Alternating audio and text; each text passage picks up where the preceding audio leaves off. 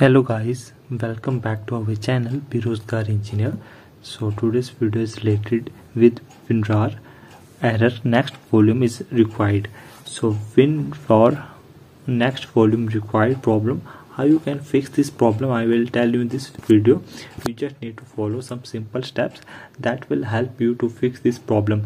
Hope you like this video and subscribe our channel Berozgar engineer because your one subscription gave a motivation to us to upload new video for you guys. So what you what why this problem arises i will tell you.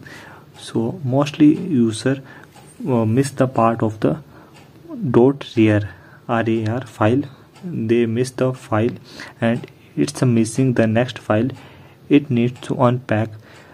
So you might not have downloaded all needed files. And also if you get dot rar dot 001 dot 002 and such you need to open the dot rar first. The other get loaded by themselves so that's why this problem arises. Mostly users have not downloaded the completely package of the of the this app. And that's why next volume is required problem arises. You need to download it again this. And make sure you have downloaded all the parts. And hope you got valuable information. And if you are getting another problem you can simply tell us in the comment section of the video.